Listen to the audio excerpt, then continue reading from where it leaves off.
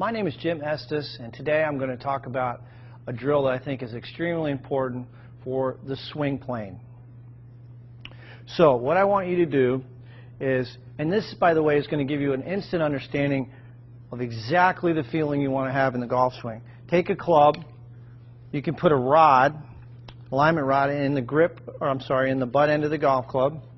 Take the golf club, turn it like you're going to hold it, and then what I want you to do is take that club, put it right against your left hip, so you're holding both clubs here.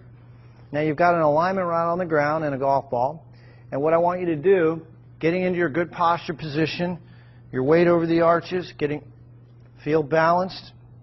The insides of the heels are going to be about the width of your hips.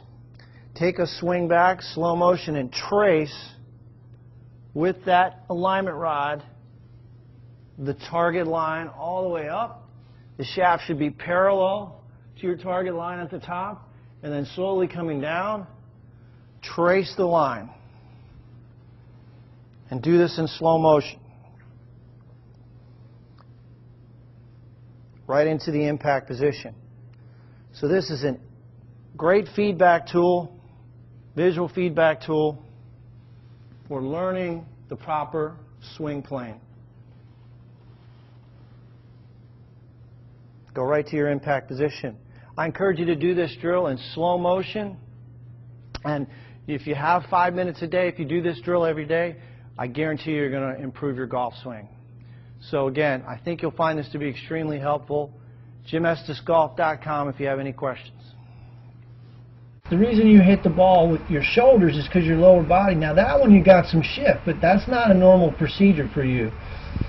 So I want you to incorporate this drill where you, you get in front of a mirror. Put a piece of tape right on the mirror in your bathroom.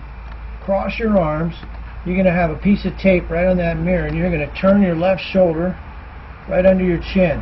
Your first move is a lateral shift in your hips. There. Your head's not going to go forward, your hips are going to go forward. And then you're going to turn your right shoulder under your chin and toward the target. Alright, now you can see here when I swing,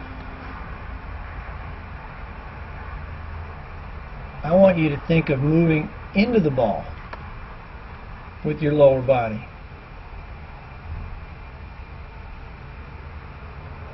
And moving forward. So that's what we're going to do. We're going to work on that. That's huge.